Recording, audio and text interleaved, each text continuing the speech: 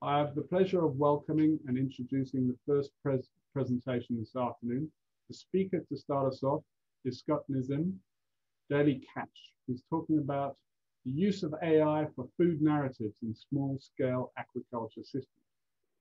Hi, I'm Scott Nuzum, and it's my pleasure to be a part of this incredible event focused on the application of artificial intelligence for a digital planet. I'm here today to explain how our company, Daily Catch, is using AI to improve economic outcomes for fishermen and other primary producers around the world. I'll be available to answer questions after this presentation and look forward to engaging with you all. Before I introduce the company, allow me to share a bit of my background. Prior to co-founding Daily Catch, I spent a dozen years working at the intersection of technology, natural resources, and food and agriculture, both within the US government and in the private sector. I have an academic background in natural resources law and policy and have spent much of my career focused on ocean, coastal, and fisheries policy. My co-founder, Chris Rodley, is the founder and CEO of Snap IT in Nelson, New Zealand. He has spent over 14 years in business and startup leadership and has twice been a finalist for Innovator of the Year in New Zealand. For the last decade, Chris has worked extensively on government and fisheries technology projects and implementation around the world. With that, let me turn to introducing Daily Catch. Daily Catch was designed to solve a problem. Fishermen and other primary producers are some of the hardest working people on the planet, and yet their immense efforts are often undercompensated. The existing food and fisheries system creates no economic incentive to deliver transparency, and in fact, largely incentivizes a lack of transparency. At the same time, we see government efforts to impose electronic monitoring requirements in fisheries being met with a fair degree of reticence by the regulated community a range of objections from privacy to cost to government inefficiency are levied against government oversight, and so these policies continue to languish. Moreover, we have a situation in which consumers have become almost wholly disconnected from their food. They have no idea that many of their fishermen are struggling to make ends meet, and the lack of transparency in the system means that the general public has no clue about the economic, social, and environmental impacts of food production.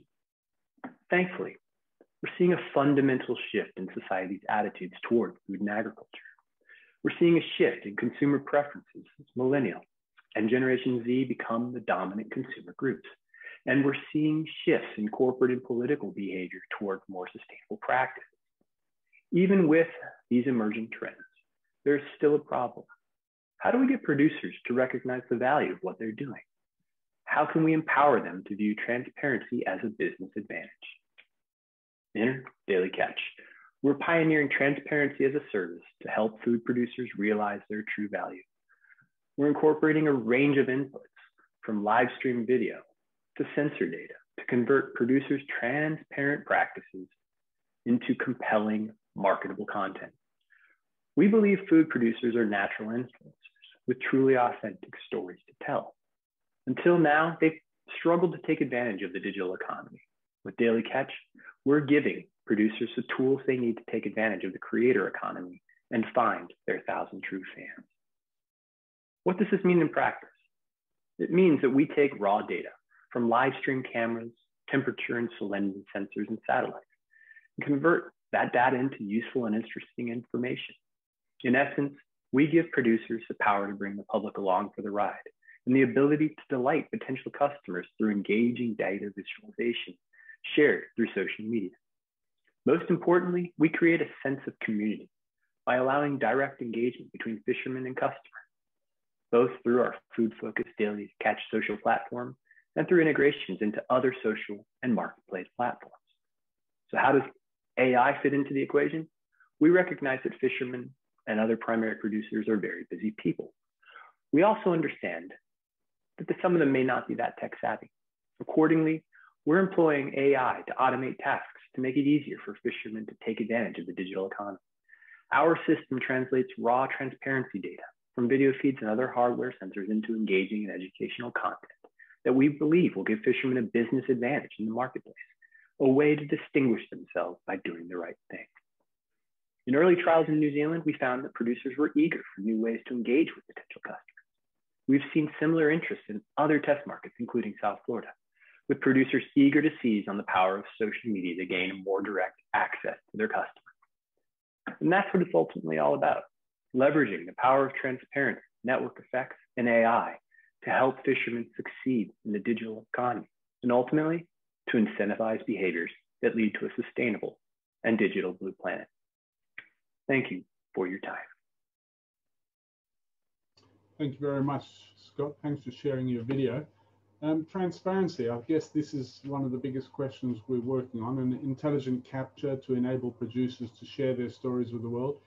Um, what's your consideration about this being a double-edged sword, especially with uh, a, a, poorly informed city-based community? Do you do you think it is a double-edged sword, and do you think we need greater standards potentially to allow people to tell such stories in a more realistic environment?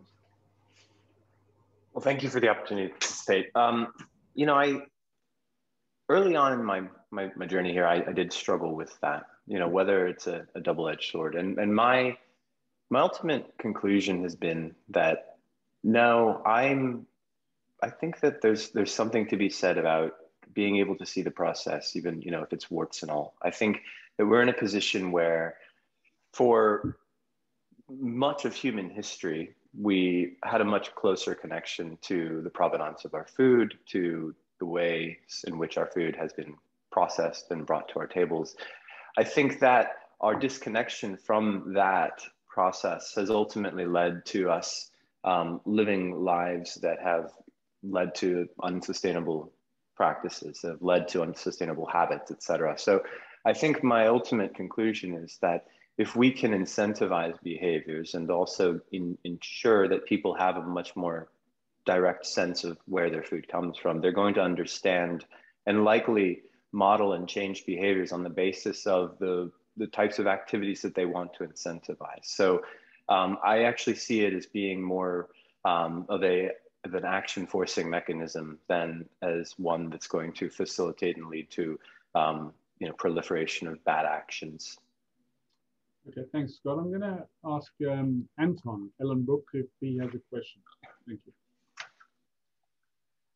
Yes, and the question to Scott is related to the, um, so if I am a producer of not only fish now, but in the future also images or other data, sensor data, how will I ever become a beneficiary of other people's uses of my data? So you talked about salinity. I know there is some interest in to get high resolution inshore uh, salinity profiles, turbidity and other data. So how do these fishermen or fisher people, uh, they are incentivized, incentivized to share the data, but what will they ever be able to get in return? How do you work with, that is a technical question. So do you work with persistent identifiers to information they share and also like a more socio-economic question. What is the value of the data and how does that become transparent to a data provider? Thanks, Anton. I will answer the second one. I, I, that question is something that's really important to me. My ultimate goal with Daily Catch is not only to provide a platform for social interaction. That's really merely step one in this in this journey. The ultimate goal is to really be able to drive greater value to producers through their stories.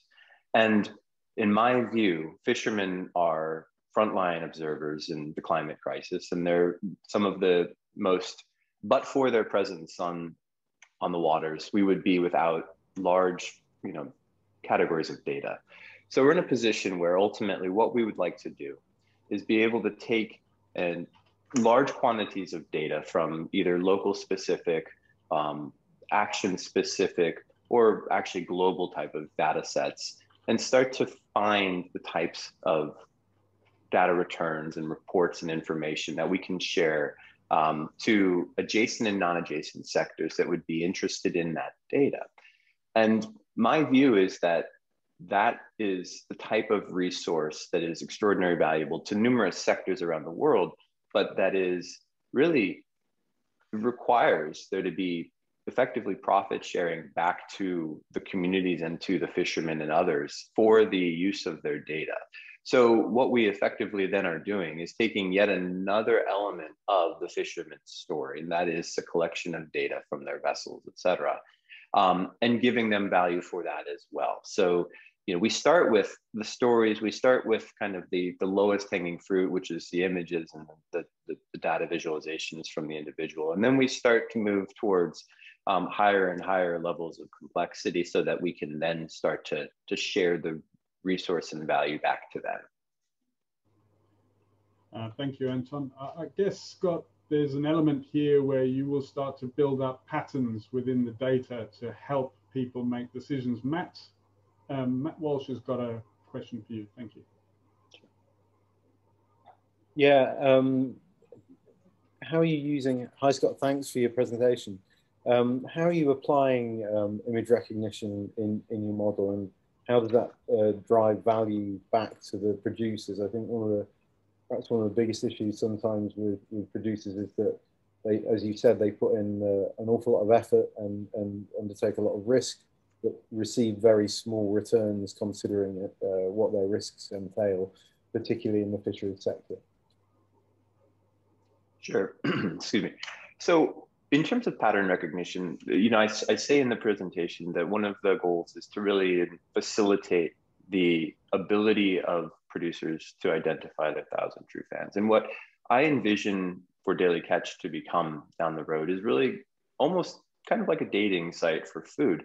What we want to be able to do is facilitate the kind of relationships between producers and consumers um, that you would have had, or your, your grandparents or great grandparents would have had. Someone that is much akin to your digital high street or digital main street, that you have formed a relationship based on your preferences, based on your value systems um, with a particular producer, one that you're more likely to over time then want to support and provide um, support even during lean times. So what we're trying to do is to take large data sets in terms of consumer preference over time, large data sets based on practices from the producer side, and then marry those and find those types of um, those patterns that really are going to correspond to values, that really going to correspond to um, repeat purchase behavior.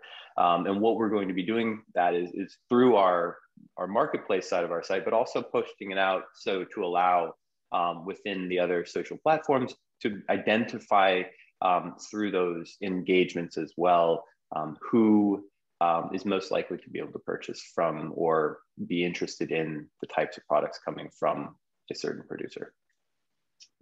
Thanks very much, Scott. I must admit, I, I can see that the connection between the consumer and the producer is, is largely broken by the way the, the market chain happens. So it's very exciting to see you building that idea of the thousand fans and so on, and, and people realizing who produces their food and building those relationships. We need that.